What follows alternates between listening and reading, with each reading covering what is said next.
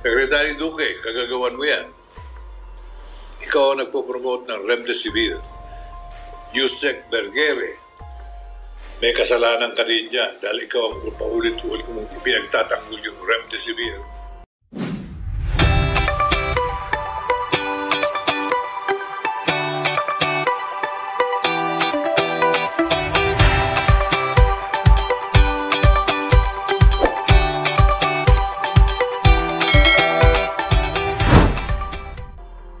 Congressman Lito Atienza ibinunyag na mayroong walong hospital sa bansa ang under investigation dahil sa overpricing ng gamot na Remdesivir para sa COVID-19. Sa bansang India, 1,000 pesos lamang di umano ang benta nito. Ngunit nasa 20,000 pesos ang isang vial sa ating bansa. Matatandaang isinulong ng Department of Health Secretary Francisco Duque at Undersecretary Maria Rosario Vergere ang naturang gamot kahit pa may babala ang World Health Organization na wala itong bisa sa COVID-19 at bukod pa dito sobrang mahal pa ito. Pero ang ivermectin na mura at mayroon di umanong ginagawang clinical trial, ang World Health Organization ay ayaw ipagamit ni Secretary Duque dahil di umano wala silang kikitain dito. Dapat ngang managot si Duque sampo ng kanyang mga kasamahan sa Department of Health dahil sa lantarang korupsyon at pangungulimbat sa pera ng taong bayan. Ivermectin nakakatulong. Gusto. Remdesivir. Yan, lumabas yung report ng NBI. Walong klinika ang kanila ngayon ay iniimbestiga dahil ang sinisingil ay sobra-sobra sa Remdesivir. Secretary Duque, kagagawan mo yan. Yan ang ating mensahe ngayon sa ating mga kababayan. Pahing na ba tayo na ano, sinasabi? Hanggang Disyembre daw uri ng... Gumising nga kayo sa katotohanan, kayong mga may hawak ng kapangyarihan ngayon. Gumising ka, Sekretary Duque. Baka naman ang tao'y binobola mo na lang. Ano ba gusto niyo? Talagang hindi gumalaw ang mga Pilipino hanggang, hanggang, hanggang sinabi niyo? We have to wake up. Wake up! Gising tayo, gising. Sabi nung kanta, gising tayo. Nagawa na ba natin yung ating dapat gawin? Eh, pagka hindi natin naintindihan yan, baka tama yung mensahe ng kanta. Baka tayo na mismo nagtatali ng ating mga paa. Kaya hindi tayo makagalaw. We have to wake up. Ako naman ay nananawagan sa ating mga namumuno sa gobyerno. Gumising naman kayo. Hindi pwedeng naka-lockdown ng tao habang panahon. Eh ba't hindi nyo asikasuhin yung ibang sakit? Pumapatay din yan araw-araw. TB, number one. Heart problem, stroke, diabetes, cancer. Lahat yan pumapatay. Yung COVID-19, bilangin na natin, isa sa mga pumapatay ng tao yan. Pero dahil sa nagpabakuna na tayo, ayon sa science, technology, yung mga nakabakunahan na ay hindi naman tatamaan ng grabing COVID-19. Kung tamaan man yung nakabakuna, very light. So, gumalaw na tayo ng normal. Maawa naman kayo sa tao. Pag ako'y nakakakita sa kalye, at lahat ng halos ng panulukan sa Metro Manila, meron tutuktok sa kotse mo. Pagkikita yung sign. Sir, ma'am, baka naman pwede niyong tulungan ng isang Pilipinong nagugutom. Alam ko, alam din ninyo, ayaw natin magbigay sa mga ganyan na ginagawa sa lansangan. Pero kung minsan hindi ko matiis, inaabot ako na rin maski magkano. Hindi tama eh. Na isang tao magugutom dahil lamang sa hindi makapagtrabaho. Ayon sa mga pag-aaral, dumarami ang hindi nagugutom na Pilipino ngayon. Eh, hindi na nga natin kailangan pag-aralan yan eh. Umikot kayo sa Metro Manila, lahat ng mga junction. Pagtigil ng mga kotse, may lalapit na humihingi ng konting tulong, konting pera para pagkain lamang nila. Ayoko, dala-dala pa yung kanilang mga sangkol. Hindi ko rin gusto yung ganong klaseng pangyayari. Ayoko naman ng encouraging mamalimos ang ating mga kababayan. Pero talagang gutom na ang tao. Kaya sana'y gumising na tayo. Gumising tayo. Tingnan natin ang ginagawa ng Singapore, pati ng gobyerno. At humingi tayo ng aksyon sa gobyerno, sa mga namumuno. Pag-aralan naman yun, yung ginawa ng Singapore. Bubuksan na nila ang bansa nila sa turismo. Buhay na ang kanilang, mabubuhay na sa lalong madaling panahon ang turismo sa Singapore. Bakit? Wala nang maraming cheche mureche na parang inaaresto ka pagbalik mo. Kukulong ka ng sampung araw. Pag ikaw ay may bakuna na, pitong araw yata. The point is, isang OFW umuwi, nakapagkuha ng bakasyon konti, pag uwi niya, eh madidetain pa siya sa kanyang quarantine. Hindi ba pwedeng bago sumakay ng aeroplano, magpa swab test na kayo? Pagbaba, swab test ulit, immediately.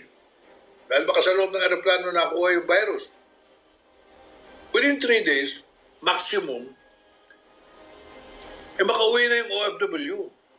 Maginhawa na. Walang virus. Kung may virus, bigyan ng gamot. Ayoko, ay hindi pa rin ako papayag na ikukulong niyo pag may virus. Bigyan niyo ng gamot. Ang hirap eh. Ayaw tanggapin na yung ivermectin nakakatulong. Gusto. Remdesivir. Yan, lumabas yung report ng NBI. Walong klinika ang kanila ngayon ay iniimbestiga dahil ang sinisingil ay sobra-sobra sa remdesivir. Secretary Duque, kagagawan mo yan. Ikaw ang nagpo-promote ng remdesivir.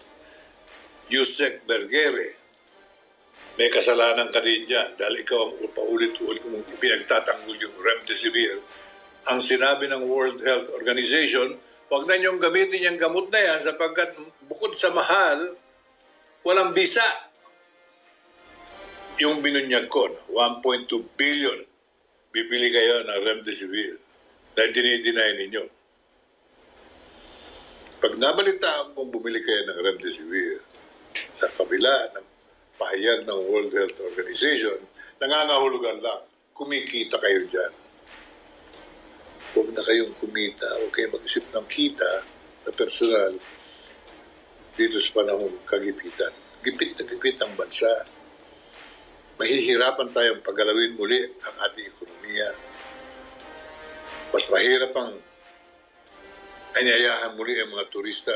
Dito kayo sa Pilipinas, gumastos na inyong salapi. Lahat yan, mahirap mangyari lahat yan, yung mag-normalize yung mga industriya yan. Pero kailangan umpisahan na natin ngayon. Kaya andyan kayo. Sinabi ng World Health Organization, huwag na niyong gamitin niyang remdesivir dahil walang bisa yan. Ang mahal-mahal pa. Eh yung mga klinika, o naniningil hanggang 10,000, 12,000, eh hindi naman ganun ang halaga nun. Pagbili nila, one- 1,500. Pagbigay nila sa pasyente, 8,000, 10,000. Sabi nga nung mga nananawagan sa television, narinig ko kagabi, maawa naman kayo sa amin. Tinatanggihan pa kami. Pag wala kang pambayad, pag pa, dala mo ng pasyente mo, hindi ka tatanggapin. Bawal yan. There are several laws already on that. When you refuse a patient, simply because wala siyang pera pang anticipate, pang, pang down payment, you are committing a crime. Kaya tama yung mga nagsusumbong. Pagka kayo nakaranas ng ganyan, huwag namang mangyari. Huwag niyong payagan. Huwag niyong tanggapin na yan ay kapalaran ng Pilipino. Kapalaran natin tayo apihin. Hindi po. Walang mga api kung walang nagpapaapi. Sino nagsabi niyan? Ang bayaning pambansa natin, Dr. Jose Rizal. Walang mang-aapi pag walang nagpapaapi. Eh kung tinatanggap natin lahat ng abuso nitong mga FDA, Department of Health, PhilHealth, lahat sa mga tanggapan na talamak sa corruption ngayon, darating at darating ang araw ng pagtutuos, paglilitis, Kayo naman ang huhusgahan ng taong bayan. Kung Canada, tama po kayo. Life must go on. Ay, hindi naman tayo tumigil nung bumasok ang influenza sa mundo. Hindi naman tayo tumigil nung nagkaroon ng HIV ang tao. Hindi naman tayo tumigil nang hindi natin mahanap ng solusyon ang cancer. Hindi naman tayo tumigil sa problema ng atake sa puso. Mga sakit yan na tinatanggap na natin at pinipilit nating maiwasan. So we have to fight COVID-19 with our own resolve, not because of Secretary Duque or whoever in government. We are the only ones who can defend ourselves. Lorenzo Malabanan, good PM Pong. Thanks for the initiative. Violeta Macapagal, Pong Salo, sa 2022 po, eh, pwede po bang ABS-CBN naman ang magsampa ng demanda sa lahat ng 70 congressmen dahil sa maling nila at ABS na CBN ang humingi ng danyo sa kanila. We will look into that when we get there.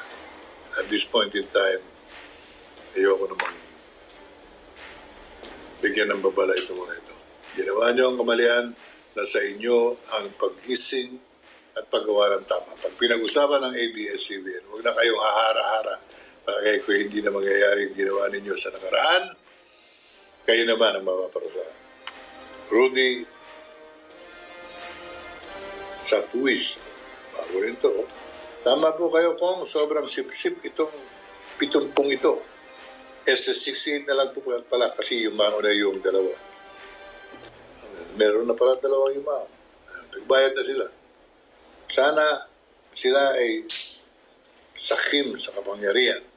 Isipin na lang nila na ang laking nawala sa gobyerno. Yung tax na dapat nakolekta sa loob ng isang taon. Nasaan ang isip ng mga ito. Nakatali ang mga paa nila, sabi nga ng kanta ni Asin. At nakapiring ang mga mata nila.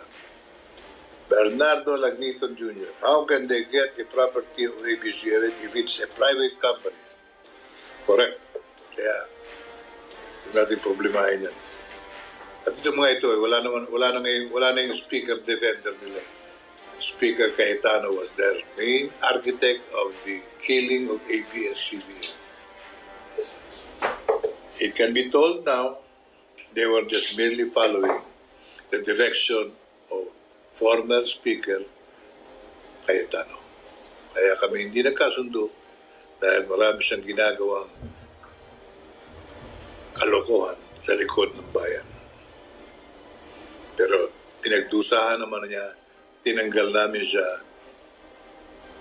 niluklok namin ang bagong speaker ngayon, si Lord Alan Velasco. And I would expect Speaker Velasco not to be like Speaker Cayetano. I have more trust and confidence in his fairness, justice, integrity that I did not see in any way with a person, insincere personality,